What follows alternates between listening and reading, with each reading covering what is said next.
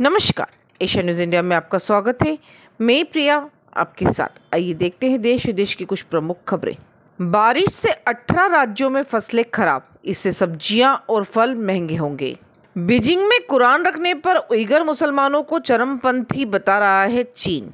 राजस्थान में बच्चे को सांप ने डसा, कराते रहे, झाड़ फूक गई जान। स्पेलिंग की गलतियों से हेड फिल्टरों को चकमा। ट्विटर हेड कंटेंट हटाएगा नहीं, उस पर ठप्पा लगाएगा। बुरहानपुर में एक साथ निकली दुल्हा दुल्हन की बारात। ससुराल माई का पक्ष जमकर झूमे। क्रेमलिन पर ड्रोन गिरने के बाद रूस के तेवर हमलावर। रूस ने ड्रोन और मिसाइल बरसा, यूक्रेन ने कई शहरों में कर्फ्यू लगाया। पाक पुलिस अफसर पर हिंदू की हत्या का केस। इमरान खान को नो केस में जमानत मिली।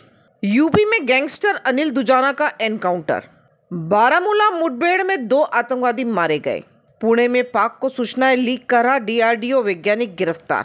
जबलपुर में कांग्रेस दफ्तर में घुसे बजरंग दल कार्यकर्ता, तोड़फोड़ एफआईआर। बिहार में जाति जनगणना पर रोक, कोर्ट बोला पहले कानून बनाना था। मणिपुर में हिंसा भड़की, आधे राज्य में कर्फ्यू के बीच दंगाइयों को देखते ही गोली मारने के आदेश, छह मोते। जयशंकर ने चीन से एलएसी पर विवाद खत्म करने पर ज़ोर दिया। उज्जैन में बीस बाज़ार युवक की हत्या, गोली मारकर। बहुचर्चित अपहरण कांड में जमानत पर चल रहा द्रोणावत मरने से पहले बोला, बाबू भारद्वाज के लोगों ने हमला कराया। पहलवान बोले, ऐसे बर्ताव से हम दुखी। मेडल और अवार्ड सरकार को लौटा देंगे। केदारनाथ मार्ग पर ग्लेशियर टूटने से फिर यात्रा रुकी। बाकी की तमाम खबरों के लिए बने रहिए एशिया न्यूज़ इंडिया के साथ। धन्यवाद।